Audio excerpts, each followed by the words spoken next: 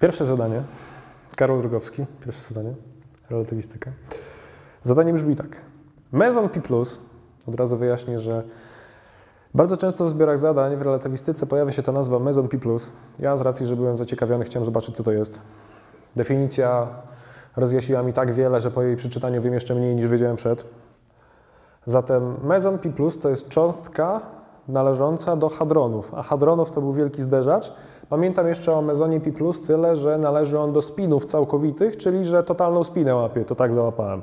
Może nie o to chodziło, ale cząstka łapiąca totalną spinę. Czas własny życia to jest 2,6 razy 10 do minus 8 sekundy, natomiast prędkość poruszania się jest 0,9 c, czyli jeżeli czas własny życia w układzie związanym z poruszającą się cząstką wynosi tyle, a zadanie jest obliczyć czas, jaki byłby widoczny na przykład z Ziemi, to wystarczy zastosować cudowny relatywistyczny wzorek na dylatację czasu, t równa się t' przez pierwiastek, podstawić i wyjdzie. Równa się 2,6 razy 10 do minus 8, to jest oczywiście w sekundach, przez pierwiastek. Zaznaczam, że to zawsze wychodzi ten pierwiastek mniejszy od 1, dlatego że jeżeli od 1 odejmiemy jakąś wartość, jeszcze spierwiastkujemy, to tym bardziej będzie między 0 a 1, równa się 5,964 razy 10 do minus 8 sekundy, czyli faktycznie wydłużenie czasu nastąpiło, bo tu było 2,6, a tu jest 5,964, jest potęga ta sama, zgadza się.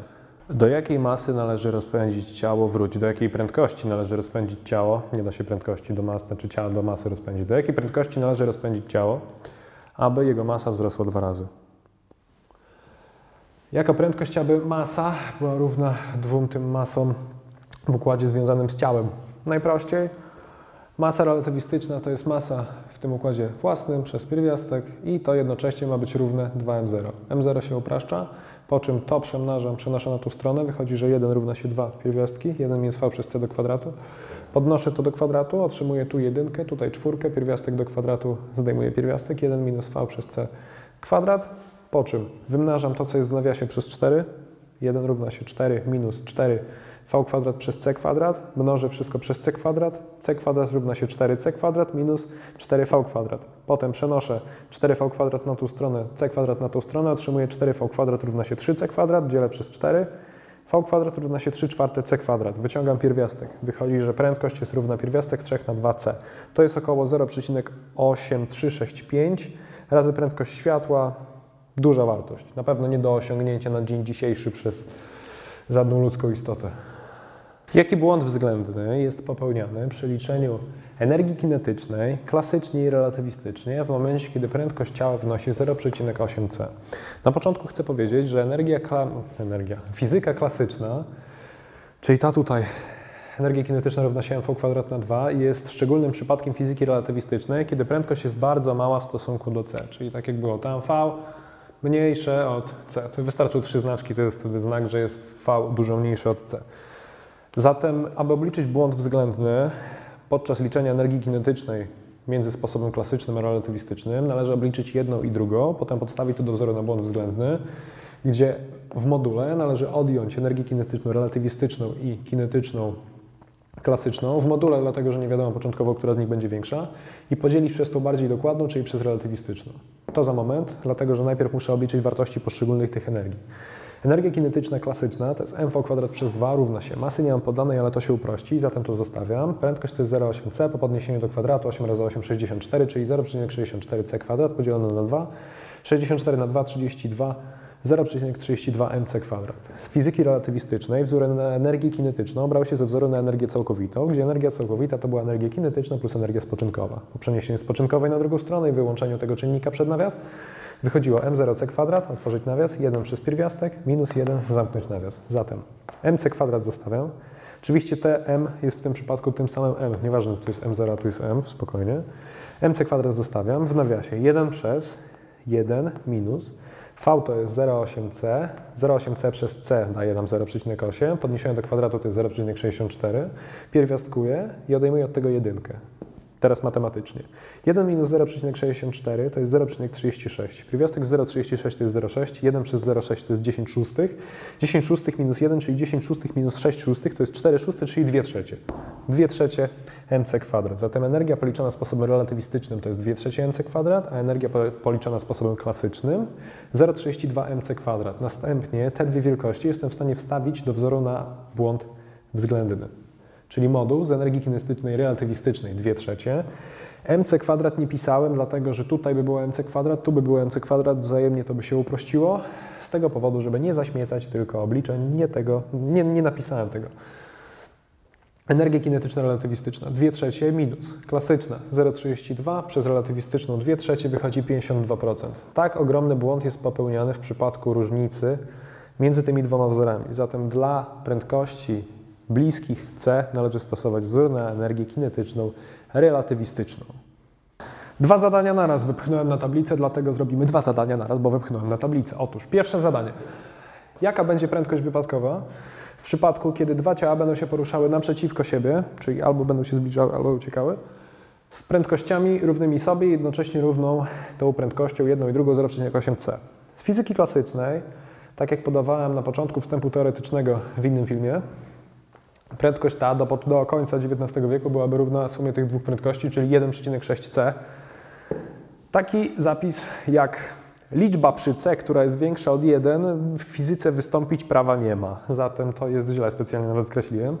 W przypadku relatywistycznym, wykorzystując wzór v równa się suma tych prędkości przez sumę jedynki i iloczynu dwóch prędkości ilorazu kwadratu prędkości światła, otrzymamy 0,8 plus 0,8 to jest 1,6 przez 1 plus 0,8 razy 0,8, 0,64 c kwadrat przez c kwadrat.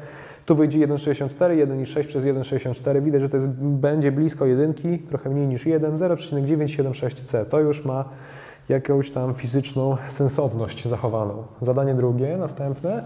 Jaką energię należy dostarczyć ciału, by jego masa wzrosła o 1 gram? Oczywiście chodzi o wzór E równa się mc kwadrat, cudowny. W takim razie R równa się mc kwadrat, masa to jest 1 gram, czyli 1 tysięczna kilograma, razy c do kwadratu, stąd wychodzi 9 razy 10 do 16 minus 3, bo tu by było do trzeciej, czyli 9 razy 10 do 13 joula. Z jaką prędkością musi poruszać się elektron, aby jego energia kinetyczna była równa jego energii spoczynkowej?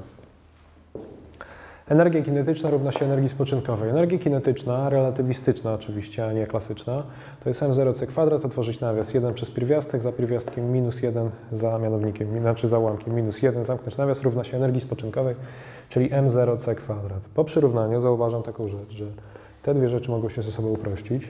Następnie otrzymuję równanie postaci, to co w nawiasie równa się 1. Zatem jedynkę przenoszę na tą stronę, otrzymuję 2 po prawej, a po lewej 1 przez pierwiastek. Pierwiastek mnożę tu, 2 razy pierwiastek równa się 1, po czym podnoszę wszystko do kwadratu. 1 równa się 4, zamiast pierwiastka jest 1 minus v przez c do kwadratu, od razu to wymnożyłem przez 4, otrzymałem 4 minus 4v kwadrat przez c kwadrat. Teraz to, co robię w bardzo szybkim ruchu, to przemnożenie przez c kwadrat, otrzymam c kwadrat równa się 4c kwadrat minus 4v kwadrat.